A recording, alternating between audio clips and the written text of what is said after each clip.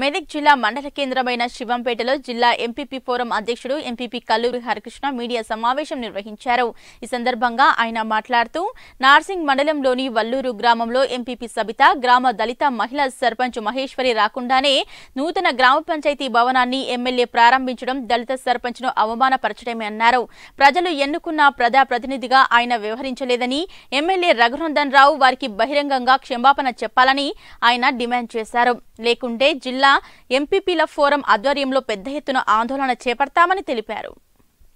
నార్సింగ్ మండలం వల్లూరు గ్రామంలో మరి నిన్న జరిగినటువంటి గ్రామ పంచాయత్ భవన ప్రారంభోత్సవానికి మరి ఎమ్మెల్యే రఘునందన్ రావు గారు అక్కడ స్థానికంగా ఉండేటువంటి ఎంపీపీని మరి గ్రామ పంచాయతీ భవనంకు మరి సర్పంచ్ అధ్యక్షత వహించాల్సి ఉండగా ఒక దళిత సర్పంచ్ మహేశ్వరిని అక్కడ ఉన్నటువంటి ఎంపీపీ సబితను ఇద్దరిని కూడా అవమానపరిచే విధంగా వాళ్ళకి సమాచారం ఇవ్వకుండానే ముందస్తుగానే గ్రామ పంచాయతీ భవనాన్ని ప్రారంభించాను కాబట్టి ఈ అహంకార పూరితటువంటి కార్యక్రమం ఏదైతే చేసిండో రఘునందన్ రావు గారు మరి చట్టసభల్లో ఉండే మీరు ఇది మీ విచక్షణకు స- విచక్షణ సరైనది కాదు.